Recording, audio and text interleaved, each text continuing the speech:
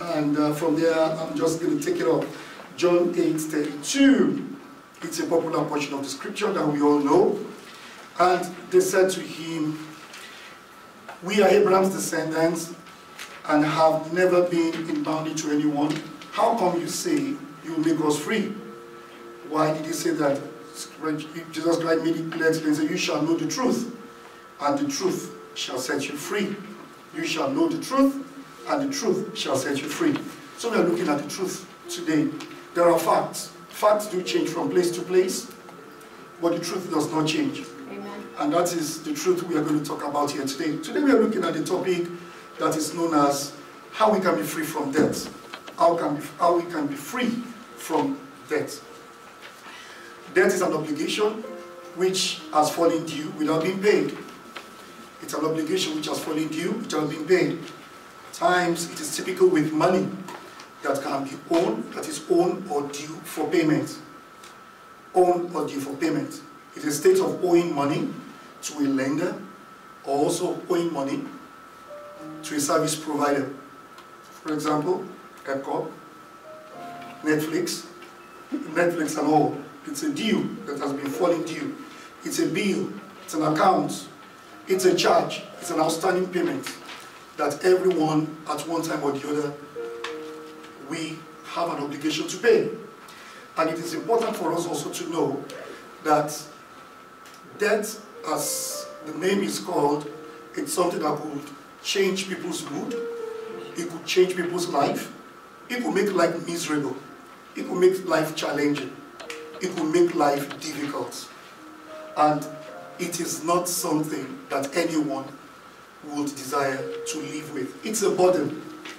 It's a burden that anyone and everyone would not want. But many times we find ourselves in this position. It occurs at times when spendings exceeds income, when our spendings exceed our income or inflow. It occurs when we deliberately also go into borrowing for purchases of goods and services or assets or securities or investments. It occurs in these different ways. When we go into purchases, debt creation may be, a, may be for consumption or for investment purpose. Debts are created either for consumption or for investment purpose. There are some debts that are created for investment purpose. I will call this very good debt, which is created for investment pur- purpose. Investment debts are good because they cover the money that we have collected, the fund we've collected, and it has also, not only does it cover the, the money we've collected, it also has the capacity to pay down itself at due date. That's why the scripture says in Ecclesiastes chapter 11 verse 1, it says, there is time for everything.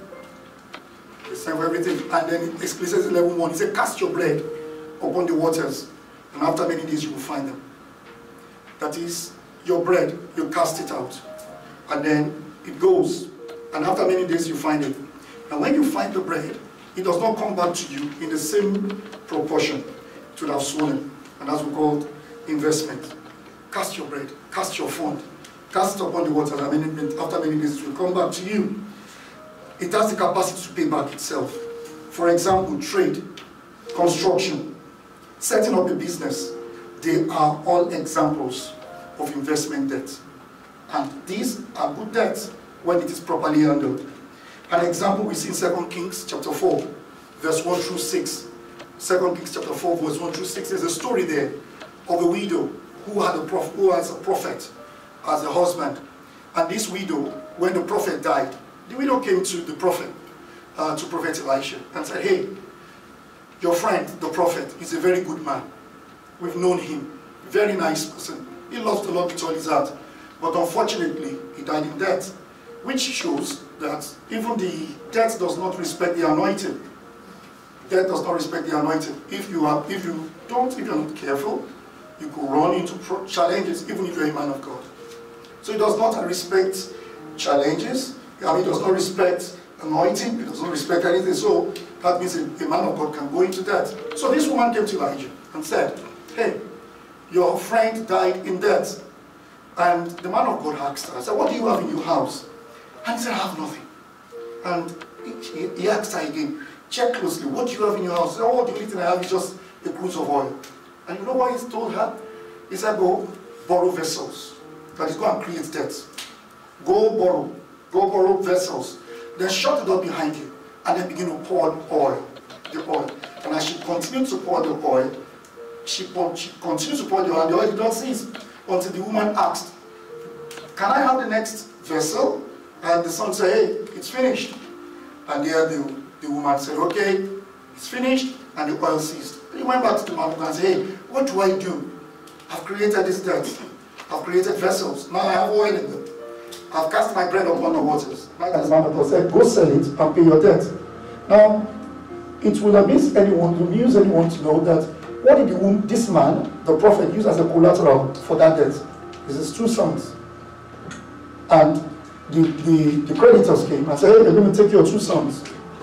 Collateral are things that are used as backup for debt. And this man used his son. What does that symbolize? It symbolizes your son is your future. And I realize that when you go into debt, a lot of people collateralize our debt with our future. With our future. A lot of people, when you ask, what's your retirement plan? They don't even have a retirement plan. Because there are loads and loads of debt. It's not the desire of God for anyone to leave debt for his children. What the Bible tells us is a wise man will leave inheritance for his children's children, not debt for his children's children. So, if you are here, you are still neck deep in, debt, it's never late. If you only would just look at those things we're going to talk about today. How do I know it's never late? The man that started KFC, Ken, Kentucky Fried Chicken, he started that organization at the age of 65. 65.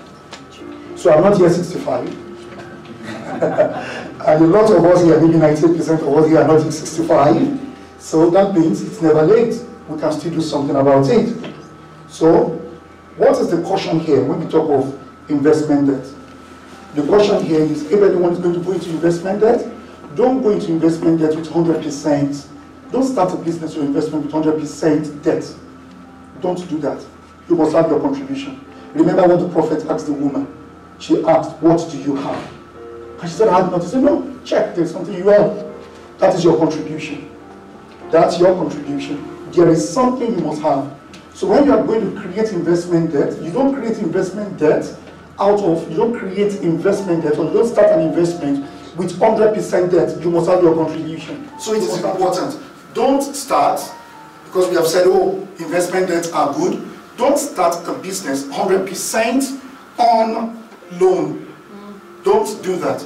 You must have your contribution into it. So that means you must set aside a certain amount. You must build an initial equity. You must build an initial money. That oil to that woman was the initial contribution. You must have that. You must have that. Some may say, well, I don't intend to be an entrepreneur. One major, one major thing that this this outreach is trying to build is to create employers of labor as much as possible. To create employers of labor so that after you have worked and settled, you, you don't need to waste on your pension. Things can come back to you that will sustain you and you'll be able to leave something back for your children. So you don't do that. What if I don't have the initial contribution? Well, in that case, if you don't have anything, you can also start, if you're going to start with zero, you can start possibly on marketing. Like I have a cousin who did not have any contribution. and she approached the company that sells, and she approached them, say, hey, can I take your things to sell for you? And they gave it to her on credit. They gave her the goods. Say, okay, go sell. After 30 days, you come back to pay. So she didn't have a contribution, but she had something. She was not parting with anything. She was not paying any fixed, any fixed cost in terms of office and all. All she just needed to do is to walk into the market, talk to people, and they tell her, go bring. It. And she brought it for them. And then she sells and return back the money. And with the profit she made, she builds her capital. Now you see that she did not have a contribution, but she used that company's goods as her contribution because she didn't have to spend her own money. So if in that case, why? Well, if you have the opportunity, I will tell you to embrace it. I'll tell you to embrace it. You must have good equity to start.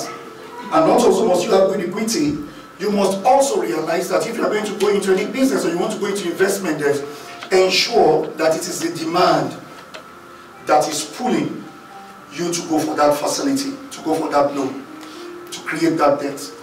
It must be demand pull. You don't say, hey, I have this, and the imagination, I say, I can approach the market and get it sold. But have you done your visibility study? If you have not done that, then don't do it. Don't create investment debt without you having a demand. It must be your demand that is pulled, that has pulled it.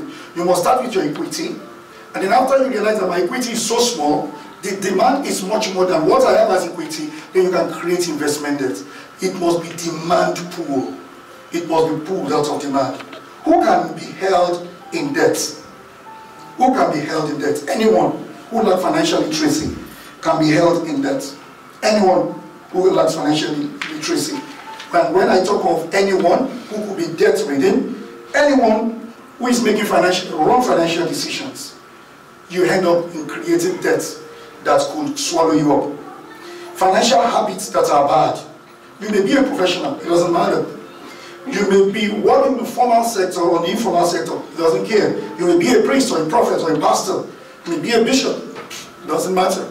It does not it doesn't matter at all. So how can I get into debt? How do people get into debt? One, a lot of people get into debt because they spend more than they earn. When your income exceeds your expenses, you realize that you will run into debt. So that's why it's important because everyone must learn to live without his means, within his means. Does it mean to say that, hey, I don't have faith? No. No, sir. No, ma'am. What is faith? Faith is the substance of things hoped for, the evidence of things not seen, according to Hebrews chapter 11, verse 1.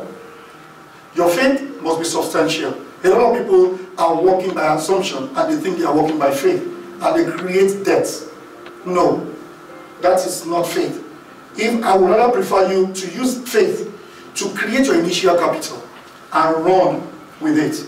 I would rather prefer you to use faith to create for your day-to-day needs, to meet your day-to-day needs, instead of going into, into consumption debt. Wrong financial decision can also make one to run into debt. When you make consistently, wrong financial decision, consistently, then also when you lack financial literacy, when you lack financial literacy, you could run into debt.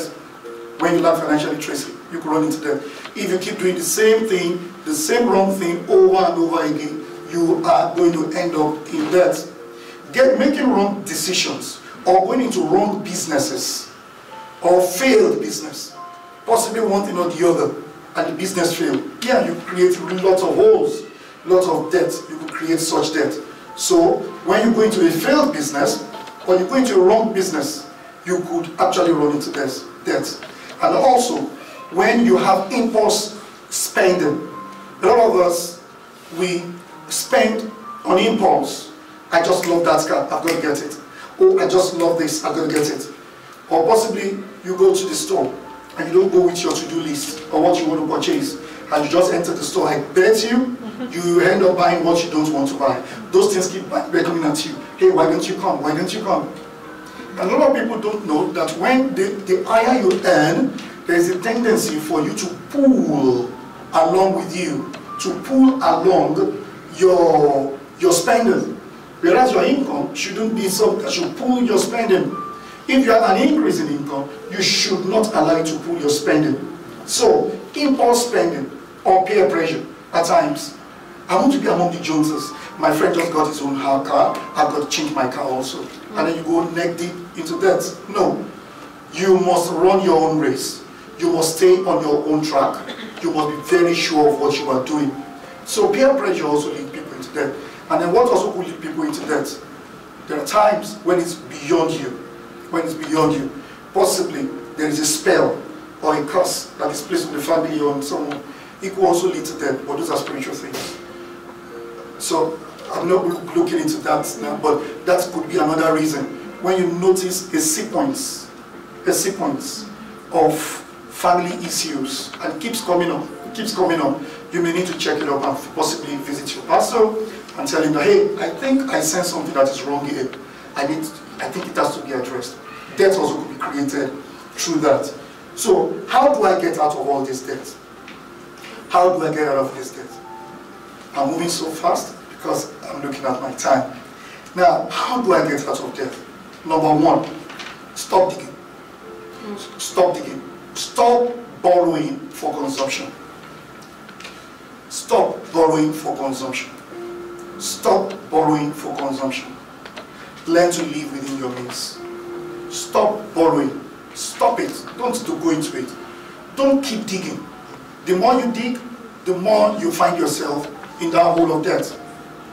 I was talking with someone some time ago. I had a financial dis- um, discussion like this um, in the church, my church, and uh, a lady walked up to me and asked me after the teaching.